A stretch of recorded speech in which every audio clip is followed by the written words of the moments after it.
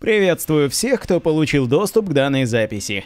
Не люблю ходить вокруг да около, потому сразу перейдем к сути.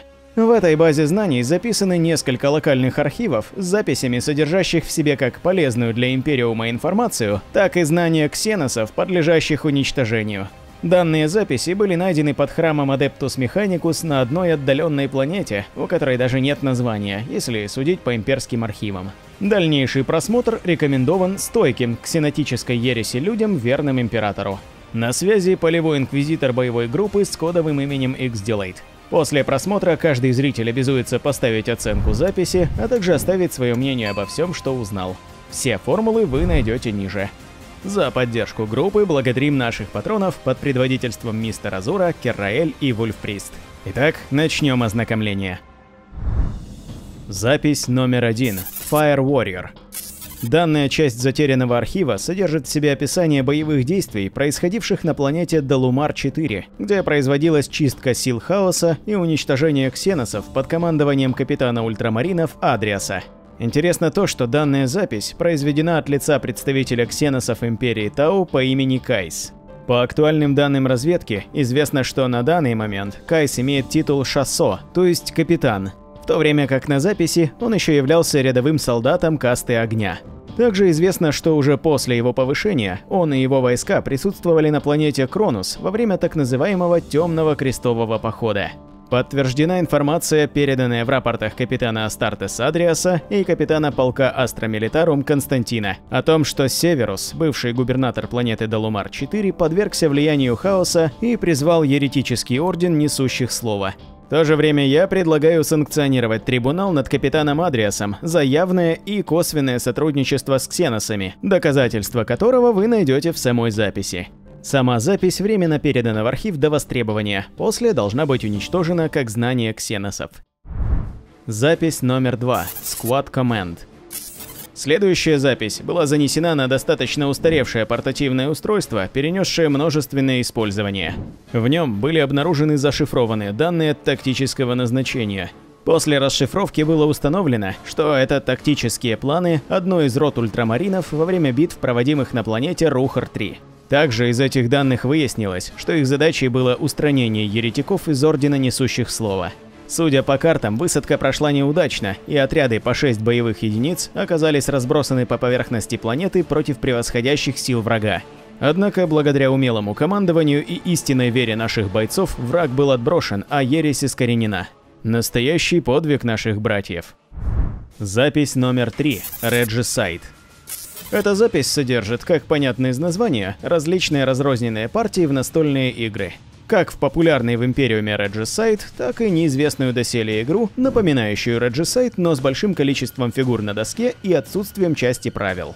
По личному мнению изучавшего эти знания архивариуса, второй вариант проведения игры более прежнего развивает стратегическое мышление у игроков. Однако при более тщательном анализе содержимого стало понятно, что в партиях зашифрована битва роты космодесанта из Ордена Кровавых Воронов с Ордой Орков, предположительно на планете Хедгар. Запись будет отправлена на дополнительный анализ, чтобы понять, имеют ли эти знания какое-то практическое значение, или же от нее стоит избавиться, как от знаний ксеносов. В любом случае, пока что доступ к ним свободный. Запись номер 4. Kill Team. Следующая база знаний содержит информацию об одном из отрядов космодесанта, состоящего из четырех человек. Их задача заключалась в том, чтобы проникнуть на корабль вторжения орков и остановить его продвижение. Позднее бойцы встретились с другой формой ксеносов тиранидами, с которыми тоже успешно справились. Однако меня волнует кое-что другое.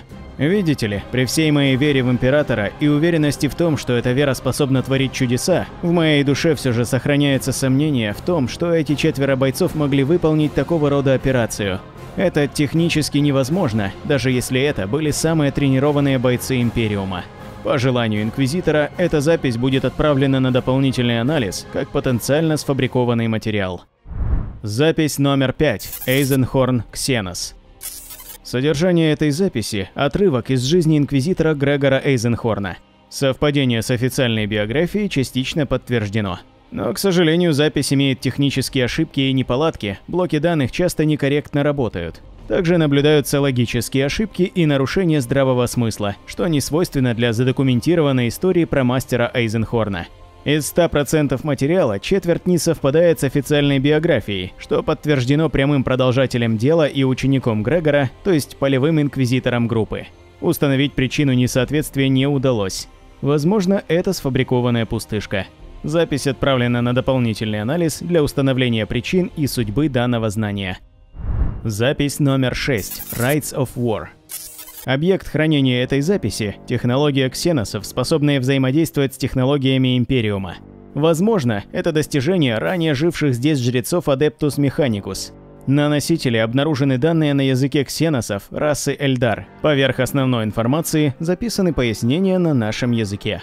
Основной объем записи занимают орбитальные съемки битв на планете Давинус. Сражения происходили между доблестными бойцами Империума и Эльдар, однако вскоре ситуацию изменило прибытие на планету Роя Тиранит. Наши бойцы временно объединили усилия с ксеносами.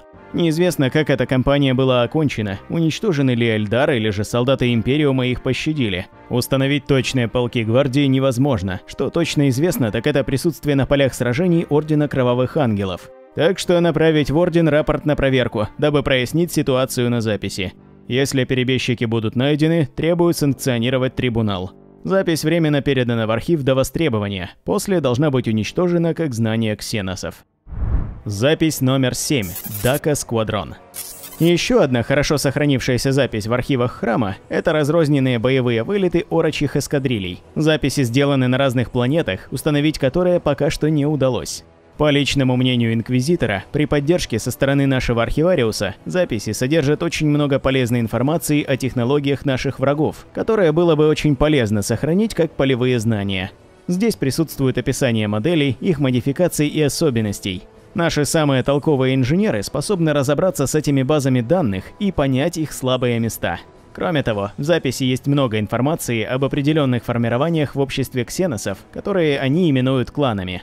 Этим также можно воспользоваться в военных целях. Конечно, мы, выше подписавшиеся, находимся в трезвом уме и осознаем, что это ксенотический материал. Однако прошу их изучить. Эти знания полезны для нас в уничтожении создателей этих записей. Запись номер 8. Battlefleet Gothic Armada. Перед оглашением следующей базы знаний хочется сразу сказать. Если в прошлые разы еще можно было логически предположить, как эти записи оказались в этом храме, то в данном случае ни я, ни архивариус, ни бойцы десанта не можем даже догадываться, откуда на таком отдалении от сектора Готик могла оказаться подробнейшая база данных о том, что происходило там во время 12-го Черного Крестового Похода. Данные посвящены адмиралу Спайру, ныне Солнечному адмиралу, который проявил себя как прекрасный генерал и воин, боец, оттеснивший силы хаоса от планет Чистилище и Орансворлд, а также систем Орар, Фуллари и многих других. Достоверность записи достигает почти 100%. Космические битвы с хаосом, с орками, с Эльдар – все передано максимально точно – все еще сложно понять, как оно тут оказалось, но как бы то ни было, это очень важный исторический документ, который должен быть направлен в официальные летописи. Запись номер 9. Gladius Relics of War. Последняя запись самая странная. Она содержит в себе некую программу, которая по-разному генерирует поверхность планеты Gladius Prime, на которой сталкивает между собой крупные силы космодесанта, Астра Милитарум, некронов и орков – Среди данных также есть упоминания о Тау, Тиранидах, Хаоситах и Эльдар, но чтобы добраться до них, нужно больше времени и более мощное оборудование. По странному стечению обстоятельств, эта планета стала полем битвы для Империума, еретиков и массы различных ксеносов. Это напоминает события на планете Кронус или в системе Каурава.